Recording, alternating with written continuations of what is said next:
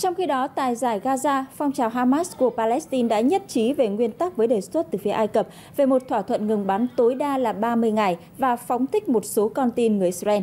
Và điều này cho thấy là dường như Hamas đang thay đổi quan điểm.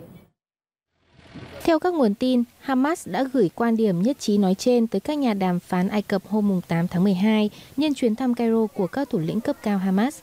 Ngoài ra, lực lượng này cũng đưa ra một danh sách các con tin Israel dự kiến sẽ được thả tự do trong khuôn khổ thỏa thuận trao đổi con tin giữa hai bên, bao gồm công dân Mỹ hoặc người mang song tịch Mỹ-Israel hiện đang bị giam giữ.